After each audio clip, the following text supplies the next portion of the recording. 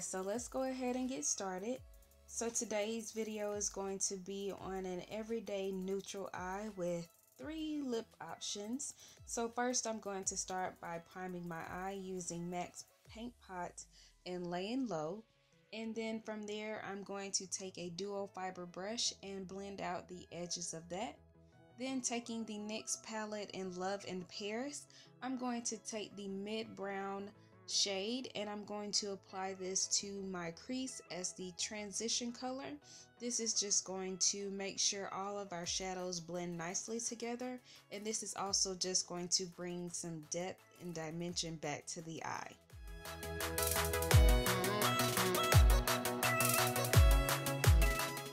Now taking the bronzy gold shade, I'm going to apply this to the mobile lid using an e.l.f. eyeshadow brush and I'm going to pat this color all over the lid from inner tear duct all the way to the outer portion of our lid and you want to make sure that you are not swiping your eyeshadows you want to make sure that you are patting them so that it ensures the best color payoff now taking the light gold shade, I'm going to flip that brush over and I'm going to apply that color in our inner tear duct.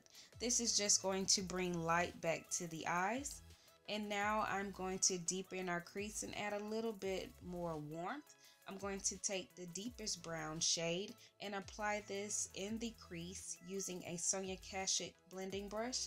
And I'm making sure to add a little bit at a time because I do not want the crease to be a very dark crease. I don't want it to be smoky. I just want it to have a little bit of oomph to it. Then from there, I'm just going to take my blending brush and I'm going to go over those lines, making sure that there are no harsh edges. And then taking the same palette and the cream matte shade, I'm going to apply this to the brow bone as the brow bone highlight.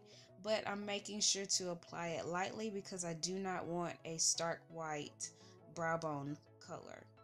From there, I'm going to take my gel liner and create a small baby wing, nothing that's going to be, you know, extra dramatic and I'm making sure to apply this with an angle brush and also to apply two coats of this so that it is very black. So now I'm going to take my eyelash curlers and I'm just going to curl my lashes and apply a coat of mascara.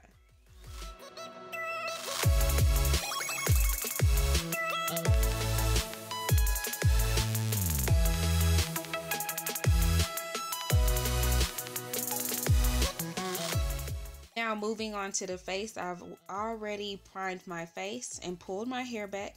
I'm taking MAC's Matchmaster Foundation in 8.5 and I'm going to apply this on a palette because I do not want to use the back of my hand so that my hand doesn't soak up the product. But I'm going to take this and dab it all over my face and then use my Real Techniques Miracle Sponge and blend everything out. I really like this foundation. It kind of gives me a semi matte finish. It's not too matte where it's drying, but it's not too oily so I don't look like Crisco is on my face. But yes, just taking that sponge, I'm just going to blend everything out and make sure I get around my hairline, my jawline, and underneath just to make sure it all blends seamlessly and it doesn't look like a mask. For concealer today, I'm going to take my Maybelline Master Conceal in Deep, which it is not a deep shade. And I'm going to mix that with my MAC Pro Longwear Concealer in NC50. Mix that together with my finger and then pat it under the eyes, making sure to get close to the lower lash line. And then from there, taking the pointed end of my Miracle Sponge, I'm just going to blend that out. I've also opted to apply this concealer to the bridge of my nose, forehead, cupid's bow, and chin. And once again, you want to make sure that you are blending this out.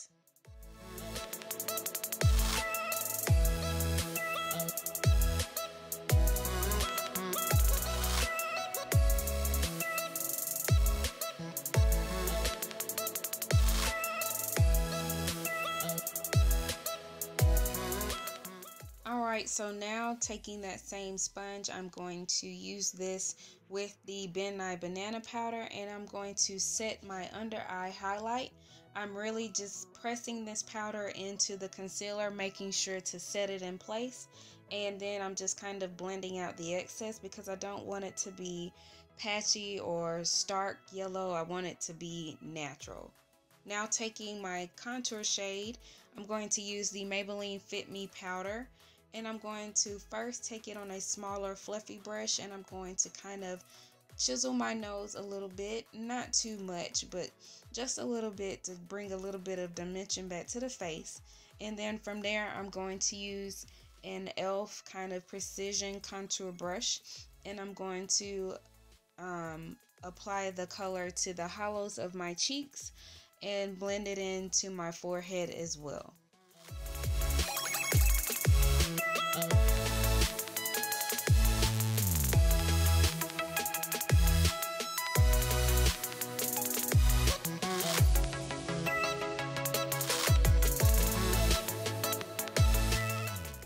Moving back to the eyes, I'm going to apply some falsies. This is your choice, but I'm using the Ardell Demi Wispy Lashes, and I'm just applying that to um, the lashes really getting it close to the base of the lash line so that it looks seamless and they look as natural as possible. And then using my tweezers a combination of my tweezers and fingers I'm just going to press this in making sure that they are secure and they are not going anywhere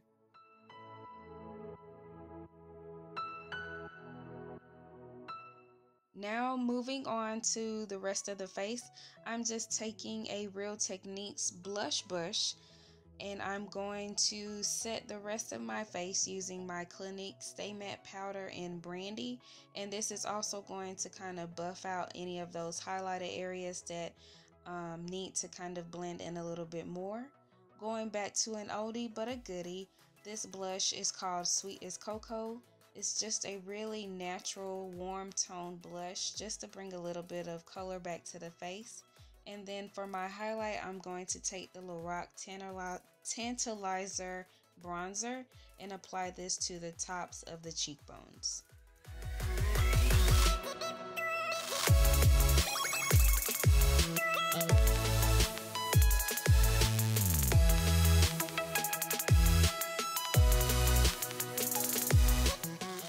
Taking a Rimmel Eye Kohl in a blue color, I'm going to add this to the um, lower lash line and then I'm going to apply a coat or two of mascara to the lower lashes just making sure they stand out and then I'm going to go back in with a liquid liner pen and make sure that band is blended into the liner so that you don't see the glue and all of that stuff.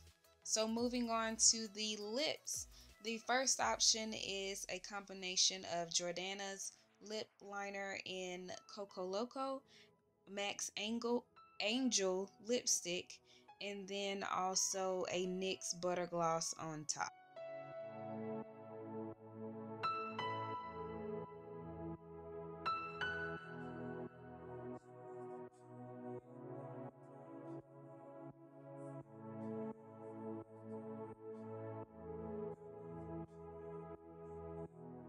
Alright, so moving on to option number two, I'm using a combination of NYX lip liner in Currant, and then um, MAC's Ablaze lipstick. This came out with the um, matte collection, I believe, last year. And then I'm going to top it off with a Dior lip gloss that is a peachy tone just to kind of blend everything together. So that is option number two.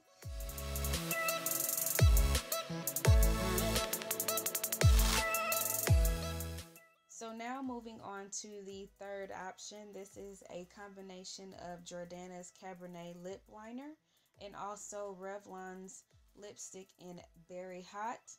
And then from there, I'm going to top it off with MAC's Funtabulous Lip Gloss.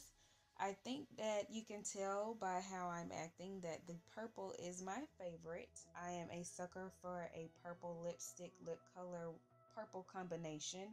So yes, that pretty much sums up this look. I hope that you all enjoyed it. Don't forget to let me know down in the comment section which one you liked. And if you decided to try this look, don't forget to tag me in your pictures. Hashtag Miss AL Cope. And so yes, that pretty much concludes this video. I will talk to y'all later. Bye.